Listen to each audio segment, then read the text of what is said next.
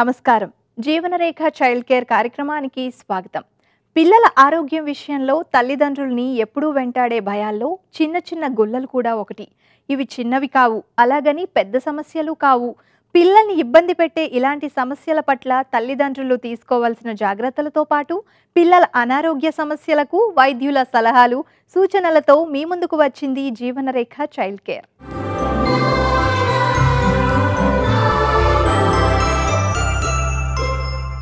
చేతులు పాదాలు నోటిలో ఒక విధమైన గుల్లలు లాంటి సమస్య వైరస్ వల్ల కలుగుతుంది.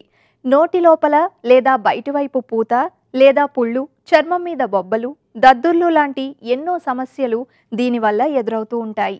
పెద్దగా పట్టించుకోవాల్సిన సమస్య కాకపోయినా పిల్లల్ని బాగా ఇబ్బంది పెట్టే ఈ తరహా సమస్యకు పరిష్కార మార్గాలేమిటో తెలుసుకుందాం.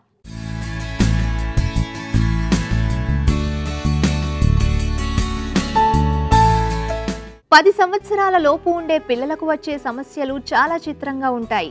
అలాంటి వాటిలో చేతులు పాదాలు నోటికి సోకే ఇన్ఫెక్షన్లు కూడా ఒకటి. పదేళ్ళలోపు ఉండే పిల్లలు ఎవరికైనా ఈ సమస్య రావడానికి ఆస్కారం ఉంది. అయితే ఈ సమస్యను ప్రారంభంలోనే గుర్తించగలిగితే మంచి పరిష్కారాలు పొందడానికి ఆస్కారం ఉంటుంది. సాధారణంగా చేయి పాదాలు నోటి సమస్యలకు కారణమయ్యే వైరస్ను కాక్సాకివి వైరస్ ఏ సిక్స్టీన్ మరియు ఎండోవైరస్ సెవెంటీ వన్గా పిలుస్తారు. వీటి వల్ల ఈ సమస్య మొదలవుతుంది.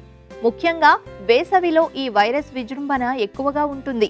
సాధారణంగా ఈ వైరస్ సోకిన వారి నుంచి ఈ సమస్య వ్యాపిస్తోంది. బొమ్మలు మొదలుకుని డోర్ కర్టెన్స్ వరకు దేని ద్వారా అయినా ఈ సమస్య పిల్లలకు సోకడానికి ఆస్కారం ఉంది. ఈ సమస్య ప్రారంభంలో జ్వరం మరియు గొంతి నొప్పితో ఉంటుంది.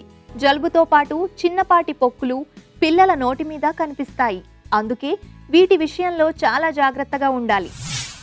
ఈ రైనీ సీజన్లో ఏమవుతుందంటే వర్షాలు మొదలవ్వగానే బయట మట్టి అంతా బాగా తడి వచ్చేస్తుంది. చిన్నపిల్లల్లో ఈ నోరు పాదం తర్వాత చెయ్యికి వచ్చే ర్యాష్ని hand foot and mouth disease అంటాము. ఇది వరకు కంటే ఇప్పుడు ఇన్సిడెంట్స్ చాలా పెరిగింది. మేబీ పిల్లలందరూ అర్లీగా స్కూల్కి వెళ్తున్నారు తర్వాత పార్కులకు తిరుగుతున్నారు. అక్కడ ఇక్కడ మట్టిలో ఆడుకోవడం వల్ల కూడా వస్తుంది. వీటిలో ఏంటి అంటే వయస్సు పరిమితి లేదు. పుట్టిన పిల్లప్పుడు ఈవెన్ రెండు మూడు నెలల పిల్లలప్పటి నుంచి కూడా ఈవెన్ పది పదిహేను ఏళ్ళ పిల్లల దాకా కూడా ఈ డిసీజ్ని ఈ మధ్యకాలంలో చూస్తున్నాం. దీంట్లో మొదటగా వచ్చేది ఏంటంటే ఫీవర్ వస్తుంది బాగా. దెన్ ఏమీ రీజన్ లేకుండా ఏడుస్తూ ఉంటారు పిల్లలు బాగా. దెన్ దాని తర్వాత ఏమవుతుందంటే వీళ్ళు కాళ్ళు నొప్పులని చేయి నొప్పులని ఒత్తమంటూ ఉంటారు. బాగా ఉన్నాడు కదా ఎందుకు ఏడుస్తున్నాడు అని తల్లిదండ్రులు ఒక్కోసారి ఆశ్చర్యపోతూ ఉంటారు. అని ఇది వీళ్ళు మామూలుగా ఎప్పుడు వస్తుంది అంటే ఎక్కడైనా అవుటింగ్ వెళ్ళినప్పుడు లేదా చాలా కామన్గా వచ్చేది ఇది ఇందులో ఇసుక కుప్పల్లో వాడినప్పుడు. అది తడిగా ఉంటుంది. ఈ ఇసుకలో బాగా వీళ్ళు ఇల్లు కట్టడం కానీ అట్లాంటి ఆటలు ఆడేసి తర్వాత బాగా పచ్చగడ్డి మీద దొర్లి ఆడి అన్నీ చేసినప్పుడు వెంటనే మనం అంత పరిశుభ్రత గురించి పట్టించుకోకపోతే ఆ చేతులు అట్లాగే నోట్లో పెట్టుకోవడం వల్ల ఈ వైరస్ లోపలికి వెళ్ళి దీన్ని కాక్సాకి వైరస్ అనే వైరస్ వల్ల వస్తుంది. ఇంకొకటి ఎంటిరో వైరస్ అని కూడా వస్తుంది. ఈ రెండు వైరస్లు పోలియో వైరస్కి రిలేటెడ్ వైరస్గా చెప్పుకుంటాము. కాబట్టి నోటి ద్వారానే వెళ్ళి ఇన్ఫెక్షన్ వస్తూ ఉంటుంది. దాని గురించే ఇది చాలా కామన్గా ఈ వర్షాకాలంలో తర్వాత లేట్ సమ్మర్ సీజన్లో వస్తూ ఉంటుంది. ఈ సమస్య ప్రారంభంలో జలుబు జ్వరం లాంటివి ఉన్నా ఆ తర్వాత పిల్లల అరచేతుల్లోని అరికాళ్ళలో ఒకదానిలో కానీ రెంటిలో కానీ దద్దుర్లు బొబ్బలు ఉండడానికి ఆస్కారం ఉంది. ఇది మచ్చలు లేదా మోకాలి పుళ్ళకు పిరుదుల మీద పుళ్ళకు దారితీయవచ్చు ఈ లక్షణాలు కొన్ని మార్లు చేతులు లేదా కాళ్ళ వరకే పరిమితం కావచ్చు. చాలా అరుదైన సందర్భాల్లో మాత్రమే నోటికి చర్మానికి పిరుదులకు పాకడానికి ఆస్కారం ఉంది. ఈ విషయంలో పిల్లల్ని తల్లిదండ్రులు చాలా జాగ్రత్తగా గమనించుకుంటూ ఉండాలి. నోటిలో పుళ్ళు పిల్లలు ఆహారం తీసుకునే విషయంలో తీవ్రమైన ప్రభావాన్ని చూపుతాయి కాబట్టి ఈ సమస్య గురించి తెలిసిన వెంటనే పిల్లల శుభ్రత విషయంలో జాగ్రత్త వహించాలి. సమస్య శరీరంలో ఇతర భాగాలకు సోకకుండా యాంటీబయాటిక్ సోపులను వాడుతూ ఉండాలి. ఈ సమస్య వచ్చిన పిల్లల బట్టలు తువ్వాళ్ళు సోపులు మరొకరు వాడకుండా చూసుకోవాలి. ఎప్పటికప్పుడు సమస్య పెరగకుండా స్నానం చేయించడం ముఖం చేతులు కడగడం అలవాటు చేయాలి. పిల్లల శరీరం మీద దద్దుర్లు ఉంటే వెంటనే గుర్తించి జ్వరం జలుబు లాంటి లక్షణాలు ఉన్నాయా అనే విషయాన్ని గమనించి వెంటనే వైద్యుణ్ణి సంప్రదించాలి. పిల్లలు ఇంట్లో నేల మీద ఆడుతూ ఉంటారు కాబట్టి శుభ్రత విషయంలో రాజీ పడకుండా ఉండడం ద్వారా ఈ సమస్యను కొంతవరకు ఆపడానికి ఆస్కారం ఉంటుంది. పిల్లల శుభ్రత చాలా ఇంపార్టెంట్ అండి ఈ డిసీజ్ విషయంలో. ఎందుకంటే కనుక బాగా నోట్లో పుండ్లు రావడంలో ఏం చేస్తారు? వాళ్ళు అప్పుడప్పుడు ఈవెన్ ఉమ్మి కూడా మింగలేని పరిస్థితి ఉంటుంది. బాగా సొంగ కారుస్తూ ఉంటారు. మరి చిన్న పిల్లలైతే ఏం చేస్తూ ఉంటారు? తల్లిదండ్రులు వాళ్ళ దగ్గర ఉన్న కర్చీఫ్తోనో వాళ్ళ చీరతోనో తుడిచేస్తూ ఉంటారు. ఒక్కోసారి చేత్తో కూడా తుడిచేస్తూ ఉంటారు. మళ్ళీ వాళ్ళు హ్యాండ్ వాష్ చేసుకోరు. అదే చేత్తో మళ్ళీ భోజనం పెట్టారనుకోండి. కామన్గా అది మళ్ళీ మళ్ళీ రీఇన్ఫెక్ట్ అవుతూ ఉంటుంది వాళ్ళ నుంచి ఇంకొకరికి కూడా పోతూ ఉంటుంది. అందుకే ఈ పిల్లలకి సీజన్లో ఏం చేయాలి? ఆడుకున్న తర్వాత తినే ముందు తప్పనిసరిగా రెండు మూడు సార్లు చేతులు సబ్బుతో కడుక్కునేటట్టు తర్వాత మంచి క్లీన్ బట్టతో తుడుచుకునేటట్టు అలవాటు చేయాలి. ఈ నోట్ల పొక్కులు వచ్చిన తర్వాత కొద్ది రోజులకి ఆ రెండు మూడు రోజుల్లో ఆటోమేటిక్గా పాదంకి వచ్చేస్తుంది చేతికి వస్తుంది తర్వాత బాడీ అంతా కూడా రావచ్చు. ఈ చెయ్యి పాదము చేతి సమస్య అనేది పూర్తిగా ప్రివెంట్ చేయలేము. ఎందుకంటే దీనికి వ్యాక్సిన్ లేదు. కాబట్టి వాతావరణం మార్పు వల్ల తర్వాత పరిశుభ్రత లేనందుకు దెన్ కామన్గా స్కూలుకు పిల్లలు ఇట్లాంటి జబ్బున్న పిల్లలు స్కూల్కి వచ్చేసారనుకోండి వాళ్ళ నుంచి వేరే పిల్లలకు సోకే ప్రమాదం చాలా వరకు ఉంటుంది. కాబట్టి దీనికి ప్రివెన్షన్ అనేది చాలా తక్కువ. ఓన్లీ థింగ్ ఏమి ఆ సీజన్లో అట్లా ఇన్సిడెంట్స్ ఎక్కువ ఉంది అని మనం న్యూస్లో వింటూ ఉంటాము. లేదా పేపర్లో వస్తూ ఉంటుంది. ఆ టైంలో ఏం చేయాలి? ఎక్స్ట్రా ప్రికాషన్ తీసుకొని పిల్లలకు చెప్తూ ఉండాలి.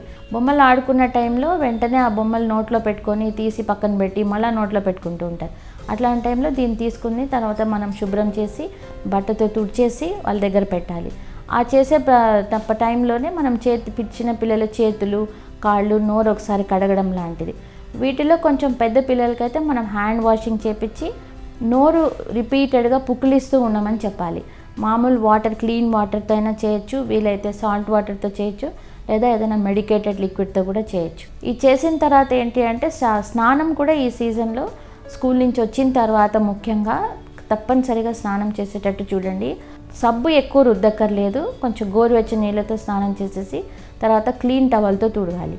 ఈ పిల్లల్ని కూడా దగ్గర దగ్గర ఆడుకోనీయకుండా ఇట్లా వచ్చినప్పుడు పడుకోబెట్టకుండా కొంచెం దూరంగా పెట్టి వాళ్ళను కొంచెం కేర్ఫుల్గా ఇస్తూ ఉండాలి. ఈ సమస్య వచ్చిన తర్వాత వారం నుంచి పది రోజుల్లో దానికి అదే తగ్గిపోతుంది. కానీ శుభ్రత మాత్రం తప్పనిసరి. ఈ సమస్య రాకుండా టీకా లాంటివి అందుబాటులో లేవు గాని కొన్ని జాగ్రత్తల ద్వారా సమస్య నుంచి తప్పించుకోవచ్చు. ఈ సమస్య వచ్చినప్పుడు నొప్పిగా ఉందని నొప్పి నిరోధక మందులు వాడటం లాంటివి చేయకూడదు. దురద రాకుండా లోషన్స్ లాంటివి రాయవచ్చు. అలాగే గొంతులో ఉపశమనానికి చల్లని పెరుగు లాంటివి వాడవచ్చు. మొదటి ఏడు రోజుల్లో పిల్లల లాలాజలం లాంటి ద్వారా ఇది వ్యాప్తి చెందుతుంది. కాబట్టి పిల్లల శుభ్రత విషయంలో రాజీ పడకూడదు. అదేవిధంగా వీరితో ఆటలాడిన పిల్లల చేతులు శరీరం శుభ్రం చేసుకునేలా చూడాలి. పాఠశాలలో ఇలాంటి సమస్యలతో బాధపడుతున్న పిల్లలు ఉన్నారా లేదా అనే విషయాన్ని గమనించుకోవాలి. ముఖ్యంగా పిల్లలకు జ్వరం వచ్చినప్పుడు ఇలాంటివి తెలుసుకుని సరైన రక్షణ చర్యలు పాటించడం ద్వారా పరిష్కారం పొందవచ్చు. దీని ట్రీట్మెంట్ మెయిన్గా చేయాల్సింది మనం జ్వరం ఏమైనా ఉంటే జ్వరంకి కావాల్సిన మందులు వాడాలి. ప్రత్యేకంగా మందులు అంటూ ఏమీ ఉండదు. మరీ చిన్న పిల్లల్లో వాళ్ళు చెప్పలేరు కాబట్టి ఆహారం కూడా సరిగా తీసుకోలేరు. దాంట్లో డీహైడ్రేషన్ సమస్య చాలా కామన్గా చూస్తూ ఉంటాం. ఈ డీహైడ్రేషన్ రాకుండా ఉండడానికి తగిన మోతాదులో చల్లటి పదార్థాలు చల్ల నీళ్ళు చల్లటి పాలు ఈ- ఒక్క జబ్బులోనే మనం ఐస్ క్రీమ్ బాగా పెట్టమని చెప్తాము. క్రీమ్ ఉంటుంది కాబట్టి తర్వాత సూదింగ్గా ఉంటుంది వాళ్ళకి. తర్వాత వెన్న లాంటిది తేనె గ్లూకోజ్ పౌడర్ అట్లాంటిది నాలుక మీద పెడుతూ ఉండాలి. దాన్ని అబ్జార్బ్ చేసుకోవడంలో వీళ్ళకి కొంచెం శక్తి వస్తుంది అనమాట చాలా కామన్గా తినలేదు అని అట్లానే పెట్టేస్తే మామూలుగా వీళ్ళు డీహైడ్రేషన్ మళ్ళీ ఐవి ఫ్లూయిడ్ పెట్టాల్సి వస్తుంది. కొంచెం పెద్ద పిల్లల్లో వాళ్ళకి బాగా మందులు ఇవ్వచ్చు. కొంచెం ఓఆర్ఎస్ పౌడర్ లాంటిది ఫ్రూట్ జ్యూసెస్ తర్వాత ఏమీ కారం లేకుండా ఓన్లీ ఉప్పు మాత్రమే వేసి కిచిడీ లాగా ఇడ్లీ అట్లాంటి సూదింగ్గా ఉన్నాయి పెట్టేసేయాలి. ఇవి ఎట్లా మనం ట్రీట్మెంట్ ఇచ్చినా కూడా తట్టుకు సంబంధించిందే కనుక ఆల్మోస్ట్ ఒక నాలుగు ఐదు రోజుల దాకా ఉంటుంది. ఐదో రోజు నుంచి అవి మాడిపోవడం స్టార్ట్ అవుతుంది. అప్పుడు హీలింగ్ అనేది స్టార్ట్ అవుతుంది. సో టోటల్గా ఈ డిసీజు ఎనిమిది పది రోజుల దాకా పడుతుంది. అన్ని రోజులు మనం వీలైనంత వరకు వీళ్ళని బయటికి పంపకూడదు. ఎస్పెషల్లీ స్కూల్కి పంపకూడదు. దానివల్ల మనము వేరే పిల్లలకి రాకుండా జ మనము హెల్ప్ చేసిన వాళ్ళం అవుతాం. టీచర్స్ కూడా రావచ్చు. సో ఈ సీజన్లో మనం స్కూల్స్లో టీచర్స్ కూడా ఇచ్చే మెసేజ్ ఏంటి అంటే మామూలుగా వాళ్ళు కూడా చిల్డ్రన్ హ్యాండిల్ చేసినప్పుడు ఎస్పెషల్లీ డే కేర్ సెంటర్స్లో రిపీటెడ్గా ఆయాలు టీచర్లు హ్యాండ్ వాషింగ్ చేసుకుంటూ ఉండాలి. ఇది బాగా మనం ఫ్లూయిడ్ రీప్లేస్ చేసి వాళ్ళను ప్రొటెక్ట్ చేసాము అంటే within eight to ten days A complication లేకుండా బాగవుతారు చూసారుగా పిల్లల చేతులు పాదాలు నోటిలో వచ్చే పొక్కుల సమస్యలకు కారణాలు పరిష్కారాలు పిల్లలు దేనికి ఎందుకు అలవాటు పడతారో ఎవరికీ తెలియదు. ముఖ్యంగా తొలిచూరు బిడ్డల విషయంలో తల్లిదండ్రులకు పిల్లల అలవాట్ల విషయంలో ఎన్నో అనుమానాలు అపోహలు. వారి విషయంలో ప్రతిదీ తల్లిదండ్రులకు సమస్యే. అలాంటి ఎన్నో సమస్యల గురించి తల్లిదండ్రుల సందేహాలకు సూచనలు సలహాలను ఇప్పుడు చూద్దాం.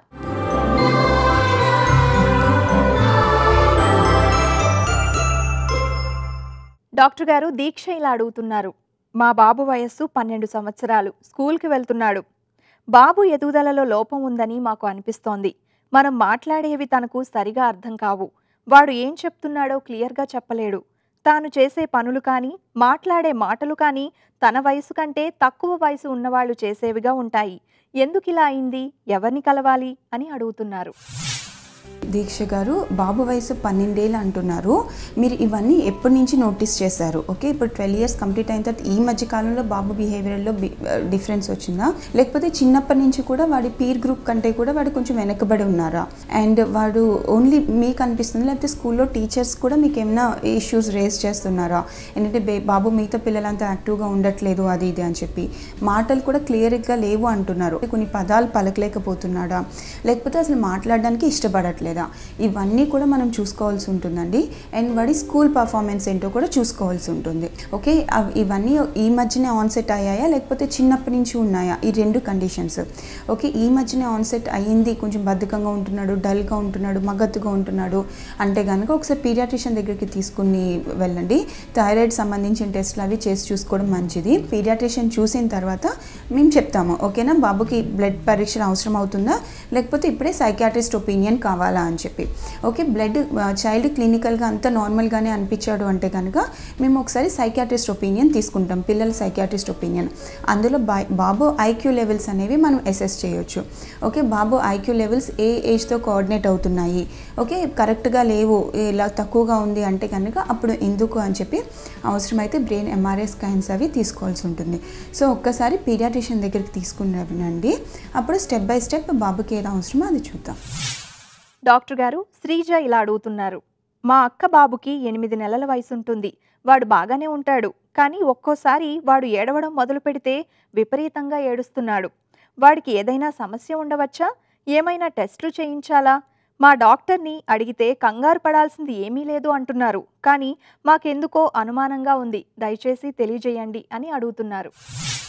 శ్రీజ గారు అదే మీ అక్క బాబు వయసు ఎనిమిది నెలలు అన్నారు. వాడు పుట్టుక నుంచి అలా ఏడుస్తున్నారు. కొంచెం మంది క్రయింగ్ బేబీస్ అని చెప్పి ఉంటారు. రోజులో పర్టికులర్ టైం మనం ఏం చేసినా one hour one to two hours కొంచెం ఏడుస్తూనే ఉంటారు. కానీ ఏజ్ పికప్ అయ్యే కొద్దీ కూడా వాళ్ళు ఆ హ్యాబిట్ నుంచి బయటకు వచ్చేస్తారు. బాబు శుభ్రంగా పాలు తాగుతున్నాడు మూత్రం బాగా వెళ్తున్నాడు అండ్ మోషన్ శుభ్రంగా వెళ్తున్నాడు అంటే కనుక ఏం కంగారు పడొద్దండి. అండ్ ఒక్కొక్కసారి పిల్లలు ఇలా ఏడుస్తున్నప్పుడు ఆకలి నొప్ప బికాస్ ఎయిట్ మంత్స్ కదా మదర్ ఫీడ్ ఏమైనా కొంచెం తగ్గిందా? లేకపోతే మనం ఇచ్చే సాలిడ్స్ ఏమైనా సరిపోవట్లేదో చూసుకోవాలి. అండ్ ఇంకొకటి ఏంటంటే డైపర్స్ ఓకే డైపర్స్ వెట్ అయిపోయిన డైపర్స్ వాడికి uh, ఇది అవ్వకపోతే బికాజ్ వాళ్ళకి ఓన్లీ వన్ ఎక్స్ప్రెషన్ ఏంటి? క్రయింగ్ ఓకే ఏమున్ ఏ డిస్కంఫర్ట్ ఉన్నా కూడా దాన్ని మనకి క్రయింగ్లో చూపిస్తూ ఉంటారు. అదర్వైజ్ పీడియాట్రిషియన్ మామూలుగా హార్ట్ టు లంగ్స్ అన్నీ చెక్ చేస్తారు. లోపలంతా కంఫర్టబుల్గానే ఉంది. ఫీవర్ లేదు బాడీ పెయిన్స్ లేదు ర్యాష్ లేదు అంటే కనుక ఒకసారి డైట్ ఒకటి చెక్ చేసుకోండి. అది కూడా తింటున్నాడు శుభ్రంగా తింటున్నాడు అంటే కనుక మీ పీడియాట్రిషియన్ చెప్పినట్టు ఏమీ కంగారు పడిన అవసరం లేదండి. పిల్లలకు రోజు ఓట్మీల్ ఒక కప్పు తాజా పళ్ళు బాదం గుడ్డు పాలు ఇవ్వాలి. దీనివల్ల రోజు మొత్తం నీరసించిపోకుండా ఉత్సాహంగా ఉంటారు. ఇవన్నీ ఎముకలు కండరాల పెరుగుదలకు మెదడు వికాసానికి ఉపయోగపడతాయి. సాధ్యమైనంత వరకు బయట ఆహార పదార్థాలను తినకుండా ఉంటే పిల్లల ఆరోగ్యం మన చేతిలో ఉన్నట్లే. డాక్టర్ గారు చంద్రిక ఇలా అడుగుతున్నారు. మా పాప వయస్సు ఆరు సంవత్సరాలు. ఈ మధ్య తరచూ స్కూల్ నుంచి తలనొప్పి అంటూ వచ్చేస్తోంది. తనకి ఒకవైపే తలనొప్పి అని చెప్తోంది. మందులు వాడుతున్నాము. అయినా పాప విషయంలో మార్పు రావడం లేదు. చిన్నతనంలో ఇంత తలనొప్పి రావడానికి కారణాలు ఏమిటి? ఈ విషయంలో ఎవరైనా నిపుణులకు చూపించాల్సి ఉంటుందా? పాప సమస్యకు శాశ్వత పరిష్కారాన్ని తెలియజేయగలరు అని అడుగుతున్నారు. చంద్రిక గారు ఈ ఏజ్లో పిల్లల్లో తలనొప్పి రావడానికి ఫస్ట్ కామన్ కాజెస్ ఏంటంటే అండి ఒకటి ఇప్పుడున్న స్కూల్ టైమింగ్స్ అంటే మార్నింగే పిల్లలు వెళ్ళిపోవడం వల్ల బ్రేక్ఫాస్ట్ అది స్కిప్ చేస్తున్నారు. సో అట్లా బ్రేక్ఫాస్ట్ కంప్లీట్గా చేయకుండా వెళ్ళినప్పుడు ఒక త్రీ ఫోర్ అవర్స్ తర్వాత బ్లడ్లో గ్లూకోజ్ లెవెల్స్ తగ్గి దానివల్ల హెడేక్ వచ్చే ఛాన్స్ ఉంటుంది. ఇంకా సెకండ్ కామన్ కాజ్ అంటే నిద్ర. ఈ ఏజ్లో minimum eight to ten hours మంచిగా సౌండ్ స్లీప్ ఉండాలి. ఒకవేళ నిద్ర సరిగా లేకపోయినా సౌండ్ స్లీప్ లేకపోయినా కూడా నెక్స్ట్ డే మార్నింగ్ ఆ స్ట్రెయిన్ వల్ల కూడా హెడేక్ వచ్చే ఛాన్స్ ఉంటుంది. థర్డ్ థింగ్ ఇప్పుడు పిల్లలు ఎక్కువగా మొబైల్స్ ఐప్యాడ్స్ రెగ్యులర్గా చూడడం అండ్ పడుకునే ముందు కంపల్సరీ టీవీ చూడడం మొబైల్ చూసి పడుకోవడం ఇట్లాంటి ఏవి చేస్తున్నారు. సో అట్లా పడుకునే ముందు ఇవన్నీ వాచ్ చేయడం వల్ల ఐ స్ట్రెయిన్ అవుతాయి. డీప్ స్లీప్ కూడా ఉండదు. సో దీనివల్ల కూడా నెక్స్ట్ డే వాళ్ళు హెడేక్ ఇవన్నీ కంప్లైంట్ చేస్తూ ఉంటారు. ఇవన్నీ ఈ మూడు కాకుండా ఇంకా కామన్గా పిల్లల్లో కోల్డ్ అది వచ్చినప్పుడు అండ్ సైనుసైటిస్ సైనుసైటిస్ హెడేక్ అంటే దాంతోపాటు అదే కోల్డ్ ఉండడం కానీ నోస్ బ్లాక్ ఉండడం కానీ ఫేషియల్ పెయిన్ దాంతోపాటు హెడేక్ అది వచ్చే ఛాన్స్ ఉంటుంది. సో కామన్గా అయితే ఇవి కామన్ కాజెస్ అండి. సో ఫస్ట్ మీరు ఇవన్నీ చూసుకోండి. బ్రేక్ఫాస్ట్ ప్రాపర్గా తింటుందా? అండ్ మొబైల్స్ అవి వాడుతుంటే వాడకుండా చూడడం అండ్ నైట్ నిద్ర సరిపోతుందా లేదా? దీని తర్వాత కూడా ఇంకా హెడేక్ వస్తుంది. అంటే ఇంకొకటి ఏం చూసుకోవాలంటే ఫ్యామిలీలో మైగ్రేన్ అది ఉంటే పిల్లల్లో వచ్చే ఛాన్స్ ఉంటుంది. బట్ ఈ ఏజ్లో ఓన్లీ ఫైవ్ పర్సెంట్ ఛాన్స్ ఉంటుందండి అది రావడానికి. ప్లస్ దాంతోపాటు వామిటింగ్ సెన్సేషన్ ఉండడం అట్లాంటి సిమ్టమ్స్ కూడా ఉంటాయి. సో మీరు ఇంట్లో మేనేజ్ చేయగలిగినవి చేసి ఇంకా హెడేక్ వస్తుంది అంటే ఒకసారి మీ పీడియాట్రిషియన్ కలిస్తే సిమ్టమ్స్ చూసి ఒకవేళ సైనోసైటిస్ అవి ఏమైనా ఉందా అని చెక్ చేస్తారు. లేదు ఇంకా వామిటింగ్స్ అట్లా ఏమైనా ఉంటే అవసరమైతే ఏమైనా టెస్ట్లు చేసి రీజన్ ఏంటి అని కనుక్కొని దానికి ప్రాపర్గా ట్రీట్మెంట్ అనేది ఇవ్వడం జరుగుతుంది. డాక్టర్ గారు దివ్యజ్యోతి ఇలా అడుగుతున్నారు. మా బాబు వయస్సు ఏడు సంవత్సరాలు. వాడికి కాస్త మెంటల్ డిజబిలిటీ ఉంది. అందుకని వాడిని వేరే స్కూల్లో వేశాము. అయితే వాడు అక్కడ బాగా అల్లరి చేస్తున్నాడని వాడి మీద కంప్లైంట్స్ వస్తున్నాయి. వాడి అల్లరిని కంట్రోల్ చేయాలంటే మేమేం చేయాలి? సలహా ఇవ్వండి అని అడుగుతున్నారు. దివ్యజ్యోతి గారు అదే మెంటల్ డిజబిలిటీలో కూడా ఐక్యూ లెవెల్ బట్టి మైల్డ్ మోడరేట్ సివియర్ అనే డివిజన్స్ ఉంటాయండి. మనకి ఏది అనేది క్లియర్ ఐడియా లేదు. బట్ స్పెషల్ స్కూల్లోనే వేసాము అని చెప్పారు. సో అక్కడ ఏంటి అంటే టీచర్స్ కూడా ట్రైన్ అయి ఉంటారండి. అంటే పిల్లలతో ఎలా బిహేవ్ చేయాలి అనేది. ఎందుకంటే ఇట్లాంటి పిల్లలు అల్లరి చేస్తున్నారని మీరు పనిష్మెంట్ ఇస్తే కంపల్సరీ ఇంకా అగ్రెసివ్గా మారే ఛాన్స్ ఉంటుంది. సో అట్లా పనిష్మెంట్ అది ఇవ్వకుండా నెమ్మదిగా చెప్పడం నెక్స్ట్ కామ్గా ఉన్న రోజు చిన్న చిన్న గిఫ్ట్స్ లాగా ఏమైనా ఇవ్వడం సో ఇట్లాంటివి చేస్తే ఎంకరేజ్ చేసినట్టు ఉంటుంది సో వాళ్ళు అర్థం చేసుకుంటారు. స్కూల్లోనే కాకుండా ఇంటి దగ్గర కూడా మీరు కూడా స్పెసిఫిక్గా వాళ్ళతో కూల్గా కూర్చోబెట్టి మాట్లాడడం అల్లరి చేయకూడదని చెప్పడం. నెక్స్ట్ ఇట్లాంటి పిల్లలతో మనం ఎట్లా పేరెంట్స్ కూడా ఎట్లా బిహేవ్ చేయాలి అనేది కూడా మీరు చైల్డ్ సైకాలజిస్ట్ని గట్టి కలిస్తే మీకు సజెషన్స్ ఇస్తారండి. సో కొంచెం స్మూత్గానే డీల్ చేస్తూ కామ్గా ఉన్నప్పుడు చిన్న చిన్న గిఫ్ట్స్ ఇస్తూ ఎంకరేజ్ చేస్తూ ఉంటే వాళ్ళ బిహేవియరల్ థెరపీతో బిహేవియర్ని అగ్రెసివ్ బిహేవియర్ని చేంజ్ చేసే అవకాశం ఉంటుంది.